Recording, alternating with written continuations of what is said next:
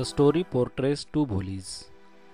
One Bholi is before she becomes educated. The second Bholi is what education did to her. Bholi initially has been portrayed as a simpleton. When she was 10 months old, she fell off the cot and suffered damage to the part of her brain, so she remained a backward child and a simpleton.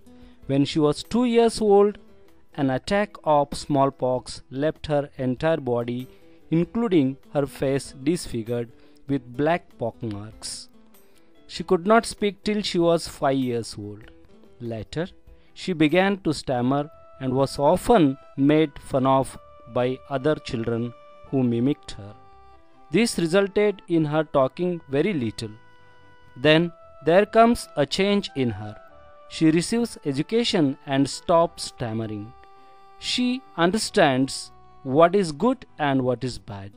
One day, her father decides to marry her off to an aged grocer named Bishambar. On the day of the marriage, he demands a dowry of 5000 rupees if he were to marry a pock-marked or pock-faced girl. But Bholi refuses to marry such a greedy and mean person. Here, Bholi has been portrayed as a sensible and selfless person who hates greed and meanness. She prefers to stay as a spinster, teach in a school, and then care for her parents in their old age. She is now a reformed Bholi.